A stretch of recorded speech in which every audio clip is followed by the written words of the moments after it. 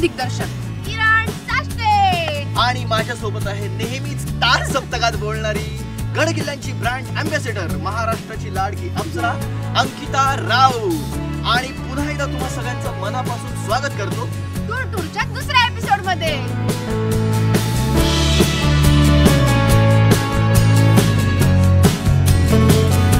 आपण आत्ता उभे आहोत अलिबागच्या मुख्य समुद्र किनाऱ्यावर. अलिबाग एस टी स्टँडपासून अगदी पाच मिनिटाच्या अंतरावर हा समुद्र किनारा आहे. आपण बघू शकता इथे सकाळपासूनच पर्यटकांची गर्दी सुरू झालेली आहे. कारण कारण एकच आहे किल्ले कुलाबा. भरती ओटीच्या वेळा चेक करून किंवा इथे विचारपूस करून आपण आतमध्ये किल्ल्यात जाऊ शकतो. किल्ल्यात जाण्यासाठी दोन पर्याय आहेत. अर्थात एक आहे माझ्या पाठी तुम्ही बघू शकता घोडागाडी आणि दुसरा आहे चालत चालत. पण चालत जाण्यासाठी मध्ये पाणी आहे. त्यामुळे गुडघ्यापर्यंत सुद्धा पाणी लागू शकतं. त्यानंतर इथे वॉटर स्पोर्ट्स आहेत स्पीड बोट्स आहेत किंवा राईड्स आहेत. सो इथे त्यात देखील सुद्धा तुम्ही एन्जॉय करू शकता.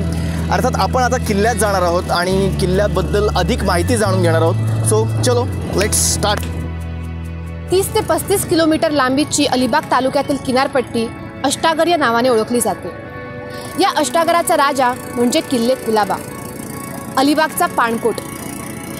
शिवरायांनी जे जुने किल्ले दुरुस्त करून मजबूत केले त्यापैकी एक किल्ले कुलाबा. किल्ल्याचे मुख्य प्रवेशद्वार किनाऱ्यालगत पण थोडेसे दक्षिणेकडे झुकलेले आहे. शिवाजी महाराजांनी दुर्ग स्थापत्यामध्ये त्यावेळी अनेक प्रयोग केले. त्यापैकीच एक प्रयोग आपल्याला इथे सुद्धा पाहायला मिळतो. हा दुर्ग बांधताना दगडाचे मोठे मोठे चिरे नुसते एकमेकांवर रचलेले आहेत. दोन दगडांमधील फटीत चुना भरलेला नाही त्यामुळे समुद्राची येणारी लाट किल्ल्यावर आपटते आणि पाणी फटीतून आतमध्ये जातं.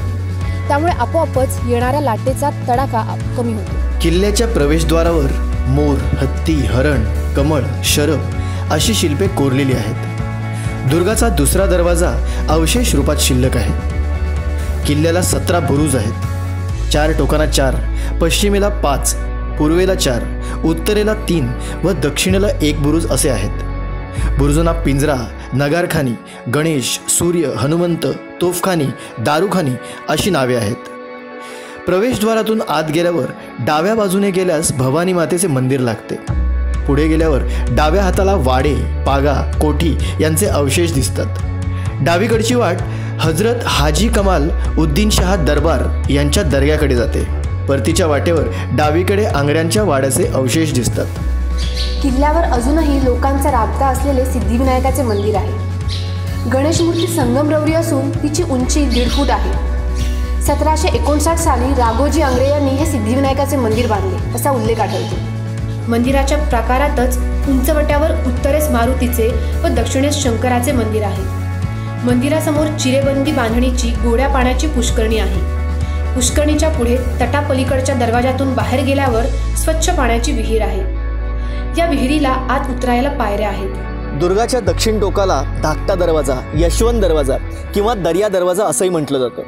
दरवाजाच्या लगतच आपल्याला कान्होजींची घुमटी दिसते. त्याचबरोबर दरवाजाच्या दोन्ही बाजूला शेंदूर थापलेले द्वाररक्षक सुद्धा आपल्या नजरेस पडतात. किल्ल्याच्या उत्तरेला चाके असलेल्या दोन तोफा आहेत. तोफांच्या चाकांजवळ तोफा बनवणाऱ्या कंपनीचे नाव कोरलेलं आहे. अलिबागच्या समुद्रात अर्धा किलोमीटरवर असलेल्या दगडावर मराठ्या सैन्याची चौकी होती. ज्यांचा समुद्र त्यांचं आरमार हे शिवाजी महाराजांना पक्क माहिती होतं. त्यामुळे त्यांनी मोक्याच्या ठिकाणी किल्ले बांधले आणि जुने गड अधिक मजबूत केले. एकोणीस मार्च सोळाशे ऐंशी रोजी महाराजांनी किल्ला बांधायला सुरुवात केली. त्यांच्या निधनानंतर संभाजी महाराजांनी या किल्ल्याचे बांधकाम जून सोळाशे एक्क्याऐंशी मध्ये पूर्ण केले. आणि त्यानंतर सरखेल कान्होजी अंग्रेज राजे यांच्या कारकिर्दीत हा कुलाबा किल्ला अधिक प्रसिद्धी झाला.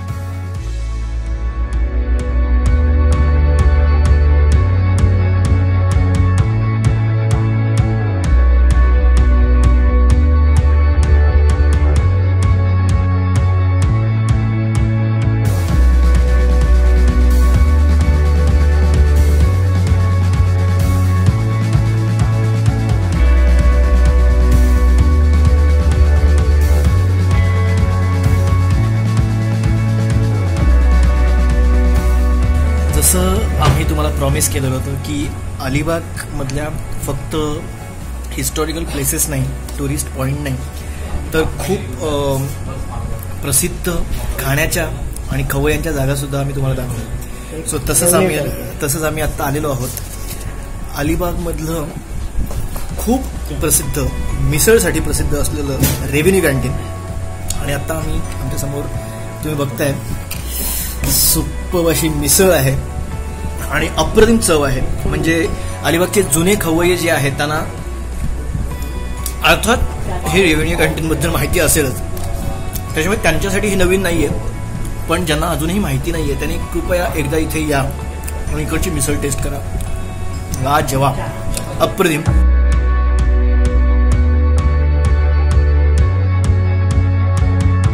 अलिबाग हे शहर सतराव्या शतकात मराठी साम्राज्याच्या आरमाराचे सरसेनापती सरखेल कान्होजी राजे आंग्रे यांनी बसवले रायगड जिल्ह्याचे तेव्हाचे नाव कुलाबा जिल्हा असे होते आणि आत्ता आपण ज्या जागेवर उभे आहोत ते म्हणजे अर्थात रामनाथ हे त्यावेळी जिल्ह्याचे मुख्य गाव होते.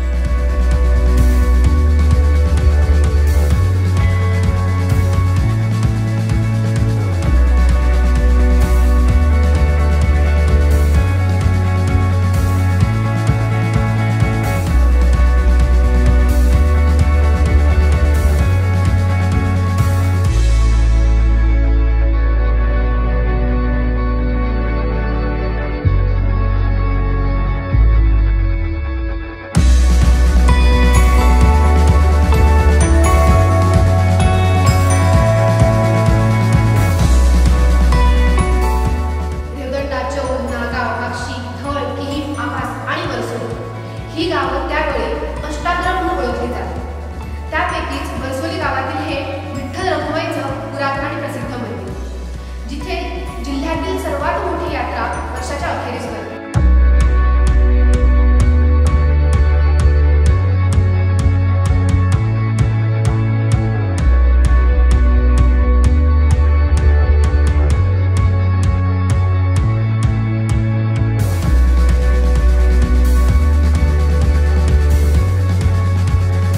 आत्ता आपण आहोत वर्सोलीतल्या पर्णकुटीमध्ये. अर्थात पर्णकुटी हे वन ऑफ एक फेमस डेस्ट स्टेज डेस्टिनेशन आहे अलिबागमधलं वर्सोलीमधलं. पर्णकुटीचे ओनर पडवळ म्हणून आहेत. गेली बावीस वर्ष हे रे रेस्ट हाऊस कम कॉटेज त्यां ते चालवत आहेत आणि खूप सक्सेसफुली चालू आहे. अर्थात आम्ही इथे आलो तेव्हा पाहिलं तुम्हीसुद्धा येऊ शकता. बारा रूम्स आहेत A C non A C आणि स्पेशल एक आपण बोलू शकतो त्याला त्या रेन डान्ससुद्धा आहे. पार्टीसाठी इथे म्युझिक सिस्टीम आहे. आणि सगळ्यात इकडचा यू एस पी जो आहे तो आहे अगदी वाडीच्या बाजूला बीच आहे. बीच टच आहे. आणि शांत असं वातावरण आहे. निसर्गरम्य ठिकाण आहे सो तुम्हाला सुद्धा कधी यायचं झालं? तर ऑनलाईन बुकिंगसुद्धा आहे. मी डिस्क्रिप्शनमध्ये याचा कॉन्टॅक्ट नंबरसुद्धा देतो आहे तुम्हाला यायचं झालं तर बुकिंग करू शकता. आणि खूप उत्तम प्लेस आहे राहण्यासाठी. तुम्ही कधीही अलिबाग फिरायला आलात तर अर्थात अलिबाग दोन दिवसात फिरून होत नाही एका दिवसात फिरून होत नाही. सो स्टे हा मस्ट असतो. आणि स्टे करायचं झालाच तर तुम्ही पर्णकुटीमध्ये नक्की करू शकता. काय? बरोबर ना?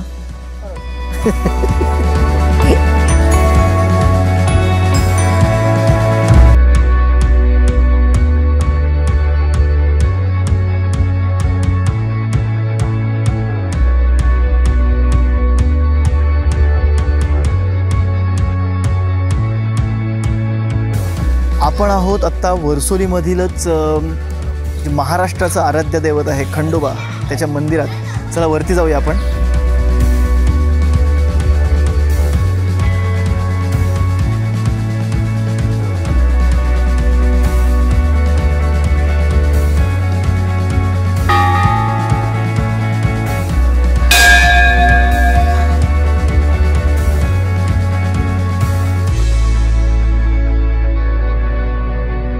महाराष्ट्राचं आराध्य दैवत म्हणजे श्री खंडोबा.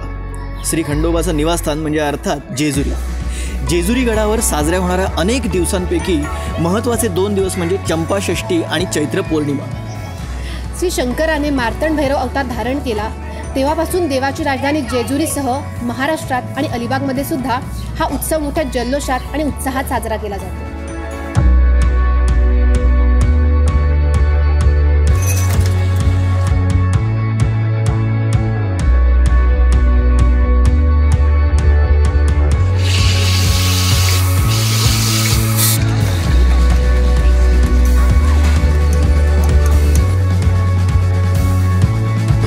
आता अलिबागमधल्या फेमस अशा श्री कोल्ड्रिंक स्टॉलवर म्हणजेच अलिबागकरांचा लाडका पंड्या सोडेवाला दादा. येस गेली चाळीस वर्ष म्हणजे अर्थात ही दुसरी पिढी आहे. राकेश बरोबर ना दुसरी पिढी आहे? गेली चाळीस वर्ष वेगवेगळ्या प्रकारच्या सरबतांनी आपल्याला पंड्या यांचा परिवार आस्वाद देतो आहे वेगवेगळ्या सरबतांचा. आणि अर्थात आत्ता जसं अंकितांनी सांगितलं की तो सगळ्या अलिबागकरांचा लाडका सोडेवाला दादा आहे. We are enjoying in orange आणि फेमस आईस्क्रीम सोडा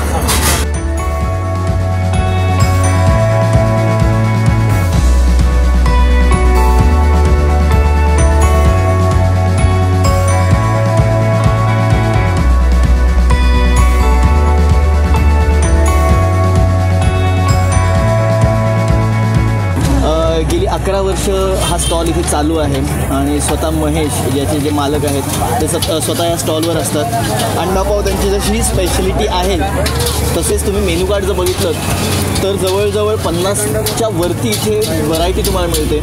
संध्याकाळी पाचपासून हा स्टॉल सुरू होतो आणि रात्री अकरापर्यंत हा स्टॉल आपल्याला ओपन मिळतो.